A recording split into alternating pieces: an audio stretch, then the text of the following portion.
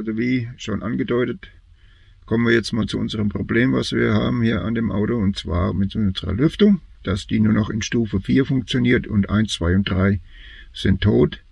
Und äh, so sieht das Ganze aus. Zündung brauche ich. So.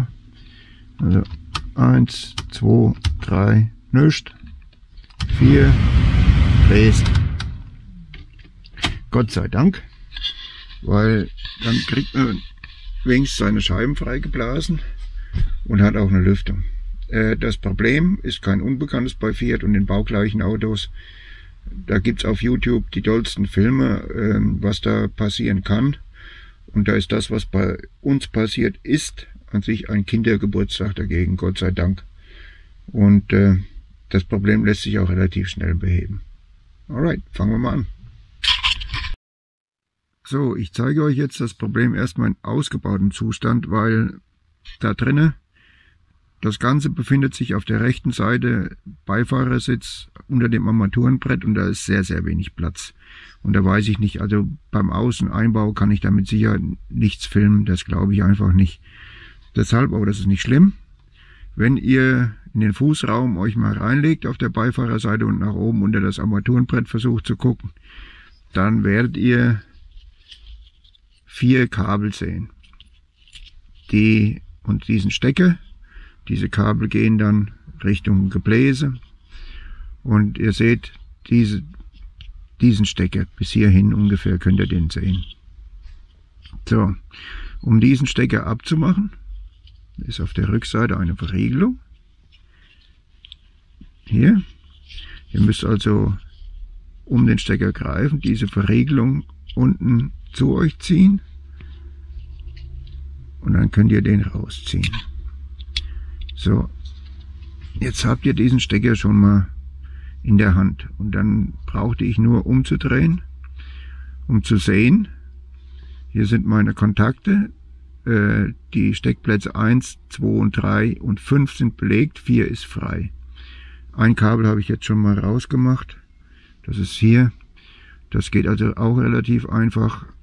Ich gucke da drauf und dann sehe ich, okay, ich habe hier drei äh, Kontakte hochglänzend, kein Problem. Und der vierte schwarz.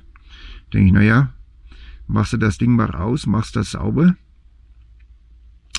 Aber, Pustekuchen, Problem ist, das Ding ist so heiß geworden, dass das eine, ja, wie soll ich sagen, untrennbare Verbindung mit diesem Kunststoffstecker eingegangen ist. Das ist geschmolzen und durch Hitzeentwicklung und äh, der ist nicht mehr zum Rausmachen.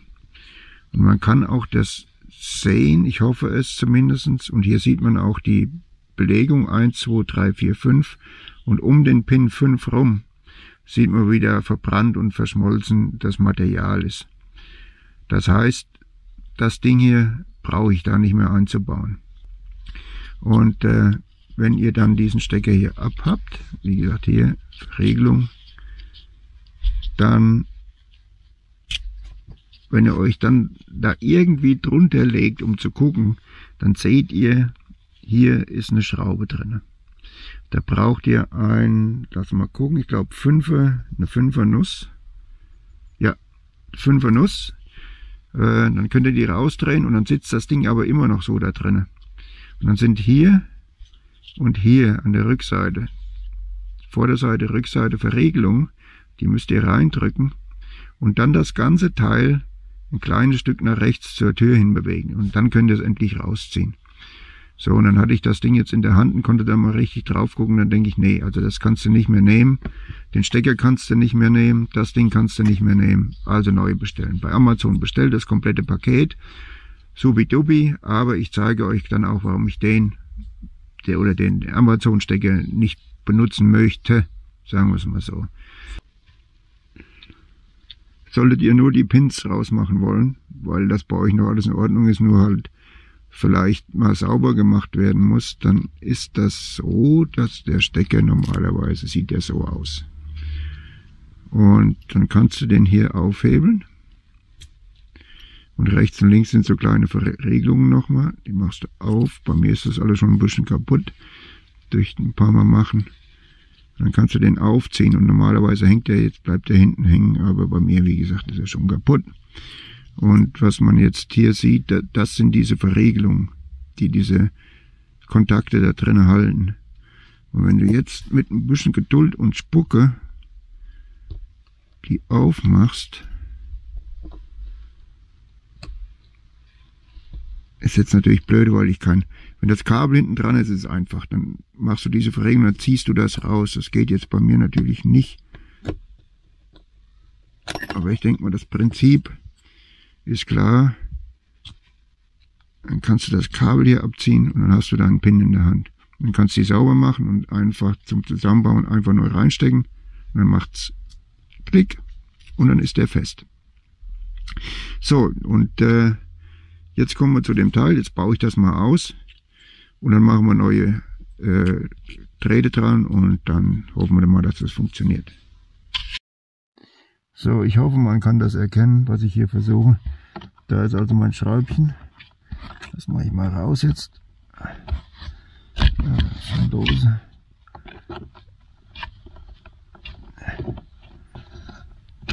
So, Verriegelung drücken.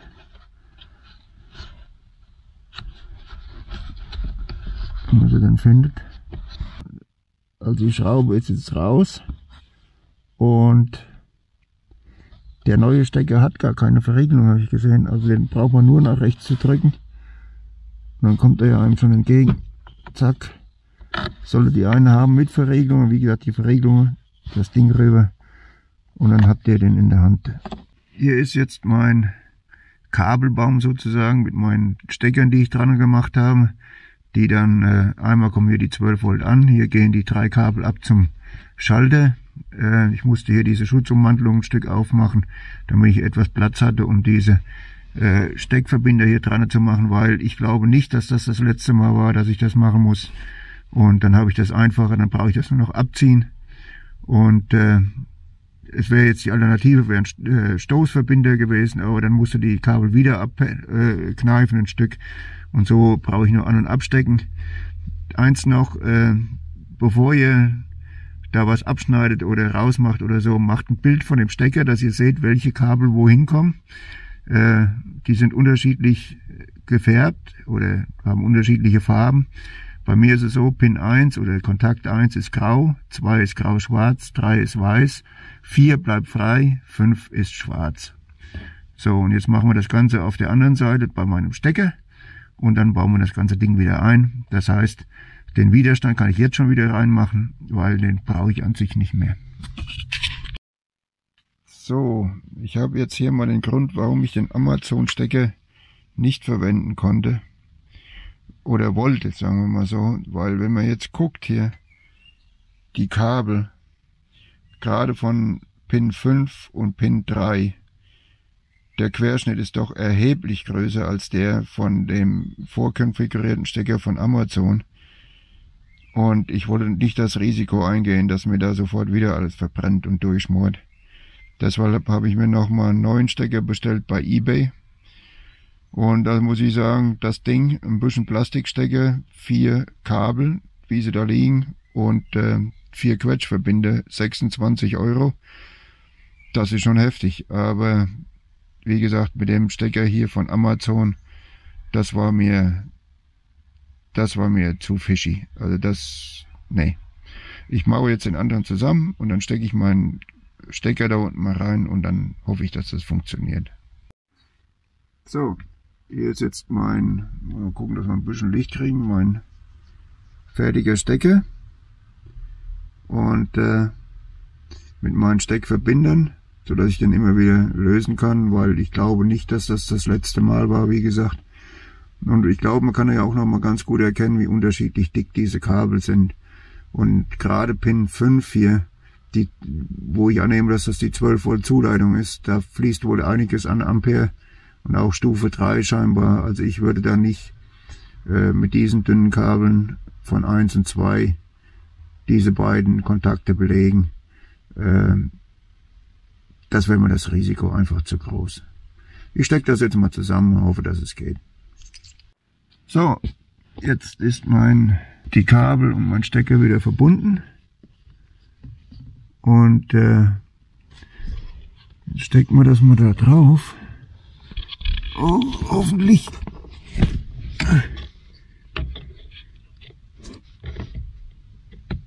Und das jetzt noch mit der falschen Brille. Na, super. So, Klick drinne. Die Kabel muss ich noch verstauen.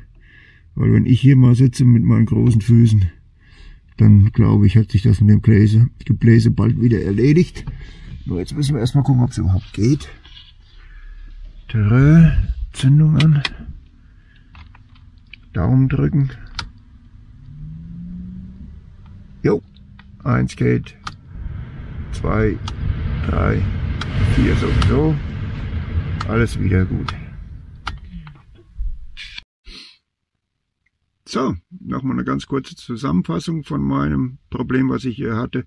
Erste drei Stufen gingen nicht, vierte Stufe ging am Gebläse, also kann man schon mal davon ausgehen, dass die Sicherung nicht kaputt ist. Und äh, wenn jemand dieses Problem auch hat, da mal unbedingt nachgucken, nach diesem, ich nenne es jetzt mal Widerstandspaket, ich weiß gar nicht, wie das Ding richtig heißt. Sind halt drei verschiedene Widerstände nacheinander geschaltet. Und äh, das Ding zu wechseln ist jetzt nicht so ein Riesenproblem habt ihr ja gesehen. Äh, ich habe mich dazu entschieden, Steckverbinder zu benutzen statt Stoßverbinder, weil ich davon ausgehe, dass das nicht für die Ewigkeit ist, dass das wieder kaputt gehen wird. Das scheint irgendwie ein Konstruktionsfehler von Fiat zu sein, dass diese Stecker so heiß wird, dass äh, eventuell, wie, so wie es bei mir passiert ist, die Kontakte das Plastik zum Schmelzen bringen und dann ist da unten Ende Gelände. Da gibt's, wie gesagt, auf YouTube andere Beispiele, wo ganze Kabel zusammengeschmort sind. Also das ist jetzt nicht so, ich habe da nichts verkehrt gemacht oder so. Das ist bauartbedingt. Ähm, das Teil bei Amazon bestellt, äh, was ich davon verwendet habe, waren die Widerstände selbst, den Stecker nicht, weil mir war das mit den Kabelquerschnitten zu wenig für die Kontakte 3 und 5 äh, ich wollte da doch dann auch die entsprechenden Kabel haben für die scheinbar Ampere, die da dann doch fließen. Und äh, der hat mich halt dann nochmal 26 Euro gekostet. Aber damit kann ich besser schlafen. Und äh, ja, das war's. Mal gucken, wie lange es hält. Wie gesagt, ich denke, für die Ewigkeit wird es nicht gemacht sein. Ich hoffe, ich konnte dem einen oder anderen damit helfen, der vielleicht das gleiche Problem hat. Nicht gleich, braucht man nicht gleich zu Fiat fahren und äh, wer weiß, wie viel Geld da zu investieren. Das kann man relativ gut selbst machen. Okay, bis zum nächsten Mal. Ciao.